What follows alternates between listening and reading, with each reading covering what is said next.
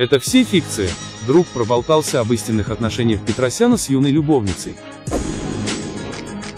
Юморист Евгений Петросян был женат четыре раза.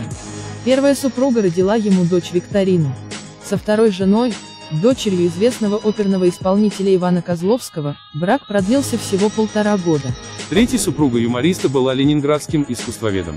С Еленой Степаненко он познакомился в 1979 году, а через пару лет они расписались.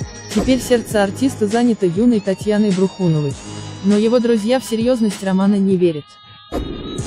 Валерий и Александр Пономаренко стали известны в 1999 году после участия в Кубке юмора. Там их заметил Евгений Петросян и стал приглашать в свое кривое зеркало. Братья-юмористы знают многое о жизни старшего коллеги. Что касается его развода со Степаненко, то все, конечно, удивились, уверяет Валерий. Мы, как и многие, считали его брак хорошим творческим союзом. Они с Еленой Григорьевной прекрасно понимали и дополняли друг друга.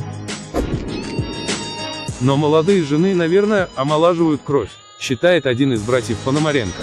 Вот Петросян и решил, что для работы это пойдет в плюс. Я, например, у нового поколения учусь манере подачи материала на сцене, каким-то фишкам, однако в личной жизни остаюсь консерватором. С возлюбленной Леной он уже вместе более 30 лет.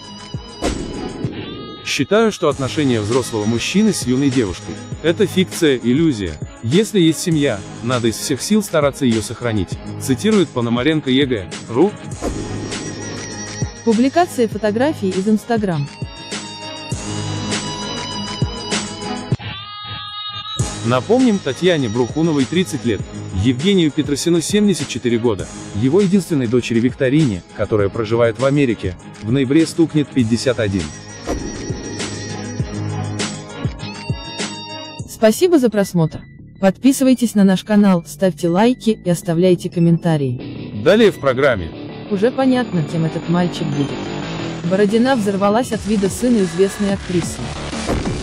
И инцидент на Крымском мосту переполошил народ. Иначе этот поток не остановить. СМИ подрежут крылья после слухов о смерти Заворотнюк. Хорошо бы мальчик, округлившуюся кравец поздравляют с беременностью. И многое другое.